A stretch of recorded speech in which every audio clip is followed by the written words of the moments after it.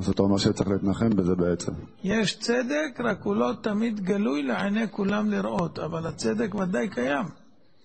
לא רואים אותו ביום-יום? ה- לא תוכל לראות כי יש דברים נסתרים שתלויים בלב. לדוגמה, לא תשנא את אחיך בלבביך, אתה לא יכול לראות מה יש בלב של הבן אדם.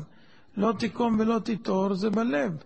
זאת אומרת, ואהבת את השם, או את השם אלוקיך תירא, זה מצוות שבלב, אתה לא יודע מה הבן אדם עושה. הונאה זה לא דבר שניכר תמיד, זה דבר שבלב. כל מיני דברים שהם שייכים ללב, אתה לא יודע. אחד מדבר עליך על ראש, לשון הרע בלי שתדע עכשיו. עכשיו, עכשיו מדברים עליך על לשון הרע, אתה לא יודע. אבל בן אדם מתחייב, אחד מוציא עליך שם רע עכשיו, אתה לא יודע בכלל.